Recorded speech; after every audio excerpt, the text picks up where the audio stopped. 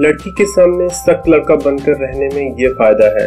लड़की को ये पता होगा, तुम दूसरे लड़कों जैसे उसके आगे पीछे नहीं घूमोगे, उसे परेशान नहीं करोगे। तुम लड़की के नज़र में दूसरे लड़कों से अलग हो जाते हो। जैसे कि हम जानते हैं, लड़कियाँ अलग लड़कों को पसंद करती है। लड़की का भरोसा आप अपने आप जीत लेते हो और लड़की आपको अपने सारे सीक्रेट बताती चले जाती है। आप लड़की के बेस्ट फ्रेंड बन जाते हो। तुम आसानी से उन लड़कों के बारे में जान जाते हो जो उस लड़की के पीछे है। लड़की उन लड़कों के बारे में क्या सोचती है? उसे कैसे लड़के पसंद है? कैसे लड़कों से वो नफरत करती है? तुम ये भी जान लेते हो। तुम कभी भी कोई भी कहानी बनाकर लड़की को किसी भी लड़के से नफरत करा सकते हो। लड़की तुम्हारे साथ बहुत अच्छी दोस्ती निभाएगी, क्योंकि तुम उसे प्रोटेक्शन दे रहे हो, वो भी बिना किसी तुम्हारे फ़ायदे के। आप उसका एडवांटेज भी ले रहे हो तो भी लड़की आपसे नाराज़ नहीं होगी।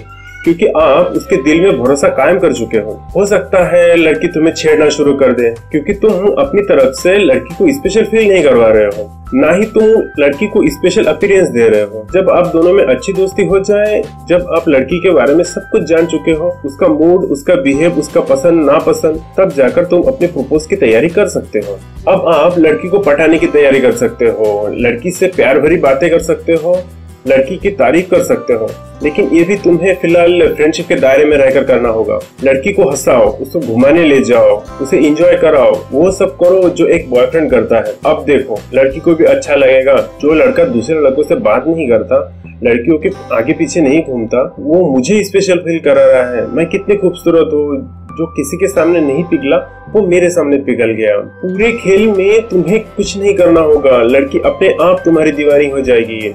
अगर लड़की कभी तुमसे पूछे, तुम ऐसे क्यों हो?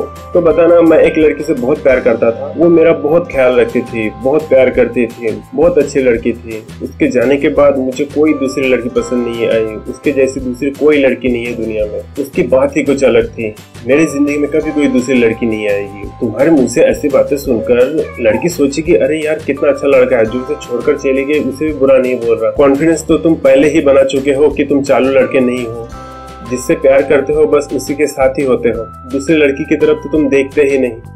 लड़की सोचेगी, ये मेरा हुआ तो मेरा ही रहेगा, ये मुझसे सच्चा प्यार करेगा। लड़की को जलन भी होगी कि तुम उसके सामने किसी दूसरी लड़की की तारीफ़ कर रहे हो। वो तुम्हारे सामने उस लड़की से बेहतर बनने के चक्कर में तुम्हारी गर्लफ्रेंड बन जाएगी। इस सिचुएशन के बाद लड़की बिना किसी रीजन से तुमसे नाराज़ हो जाएगी और तुमसे दूर हो जाएगी। ये तुम्हारा लास्ट टेस्ट है। वो तुमसे दूर रहकर ये देखना चाहती है कि कहीं तुम झूठ तो नहीं बोल रहे हो, कहीं तुम उसे इम्प्रेस करने के लिए कोई गेम तो नहीं खेल रहे हो। तुमने अभी तक जो इमेज बनाया है क्या वो तुम्हारा सही इमेज है? वो तुम पर नज़र रखेगी। वो वो तुम्हारे सोशल नेटवर्किंग के प्रोफ़ाइल को एनालाइज करेगी। क्या तुम्हें कोई फ़र्क पड़ता है उसके नाराज़ होने से? अगर तुम इस लास्ट टेस्ट में पास हो गए तो वो तुम्हारी गर्लफ्रेंड बन जाएगी।